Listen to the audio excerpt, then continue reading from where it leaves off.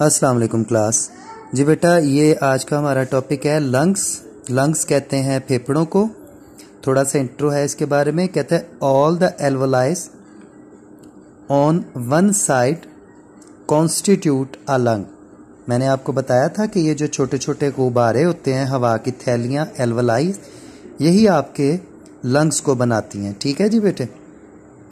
कहते हैं there is a pair of lungs in the thorac thoracic thoracic sorry thoracic cavity ये जो आपका चेस्ट के ऊपर छाती होती है जिसको बोलते हैं, कहते हैं इसके अंदर ये पड़ा होते हैं दो। The chest wall is made up of twelve pair of ribs आप गौर करिएगा, पीछे कमर की हड्डी से घूम कर पसलियों के बारह जोड़े आगे आते हैं और आपके जो सीना होता है, उसमें एक स्टर्नम होती है चेस्ट बोन सीने की हड्डी कहते हैं उसको। तो रिब्स पीछे से आती हैं, रीढ़ की हड्डी से, और आकर चेस्ट बोन के अंदर समो जाती हैं, जिससे वो एक स्ट्रक्चर सा बन जाता है, पसलियों का, दोनों एतराफ एक घेरा सा बन जाता है। ठीक है? इस घेरे को आमतौर पे कहा जाता है, बेटा डायाफ्राम और पसलियों के दरमियान में जो खाली जगह होती हैं, वहाँ पे बारीक सा एक गोश्त का चलो फ़िलहाल कह दो। पर्दा सा होता है हर पसली के दरमियान में। आप हाथ से भी महसूस कर सकते हो। बेसिकली उनको कहते हैं इंटरकोस्टल मसल्स ठीक है? The left lung is slightly smaller and has two lobes कहते हैं लेफ़्ट वाला जो फेफड़ा है, वो थोड़ा छोटा होता है और दो लूप्स पर मुश्तमिल होता है।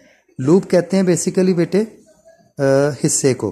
ये ज़रा गौर करिएगा, इस डायग्राम पर ये पूरा फेफड़ा है, लेकिन यहाँ पे आपको दो हिस्से नज़र आ रहे हैं, ठीक है? एक नीचे, एक ऊपर। तो इसलिए उसने कहा कि जो लेफ़्ट लंग है, ये दो लूप्स पर मुश्तमिल होता है। राइट वाला सिंगल होता है और लेफ़्ट वाला दो लूप्स पर मुश्तमिल होता है। और and right lung is bigger than with three lobes और जो राइट वाली साइड का लंग होता है, ये लेफ़्ट वाले से बड़ा भी होता है और इसकी तीन लूब्स होती हैं। यानी ये तीन टुकड़ों को जोड़ के बना होता है। They are spongy and elastic ठीक है? The lungs also have blood vessels that are present sorry that are the branches of the pulmonary arteries और एंड वेन्स ठीक है? तो जो पल्मनरी आर्टरीज और वेन्स हार्ट से निकलती हैं तो वो फेफड़ों में आ जाती हैं। और ये हम पिछले टॉपिक में पढ़ चुके हैं कि एल्वलाई के गिर्द बारीक कैपलरीज भी होती हैं, जो ऑक्सीजन को इन करती हैं और कार्बन डाइऑक्साइड को आउट करके फेफड़ों में डालती हैं। ठीक है जी each lung is enclose by two membranes called outer pleural membrane and inner pleural membrane देखें बेटा, आपके जिस्म के जितने भी आज़ा हैं ना, उनके बाहर अल्लाह ताला ने एक प्रोटेक्टिव झिल्ली बनाई होती है।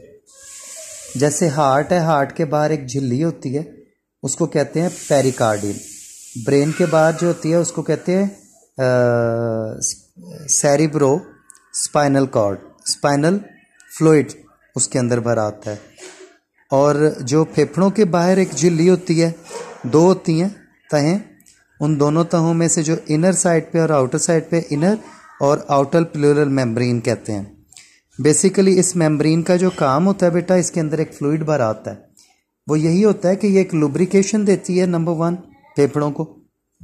दूसरा ये है कि फेफड़ों को चेस्ट वॉल से बचाती है, यानी इनके दरमियान में रगड़ या फ्रिक्शन पैदा होने से बचाती है।